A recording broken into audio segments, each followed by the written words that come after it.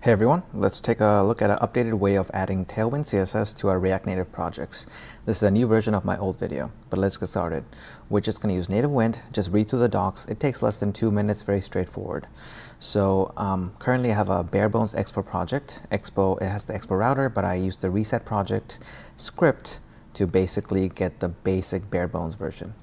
But let's get started again. Uh, look at the native Wind docs. Uh, we're just going to copy the first dependency we need to install. Uh, just copy paste. Basically, we're going to get native Wind, Tailwind CSS, reanimated, and safe area context.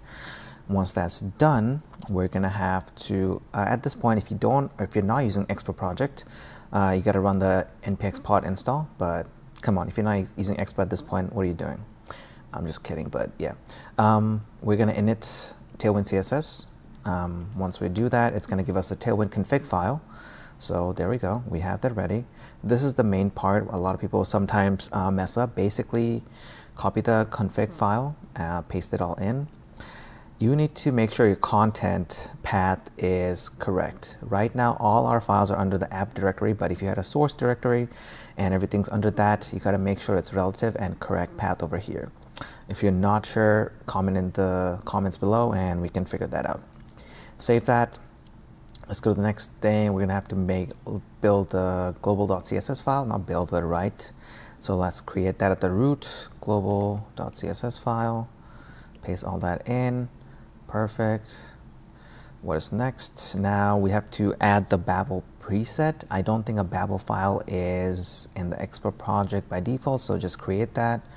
babel.config.js. Paste that in, save, Perfect. Next is Metro. Um, also not in the project, but we have an npx expo command to create that. It's going to create that for us. Because it's bare bones and fresh, I can just copy paste this into Metro. Perfection. now we gotta have to import our global CSS file into our root file, which is our underscore layout.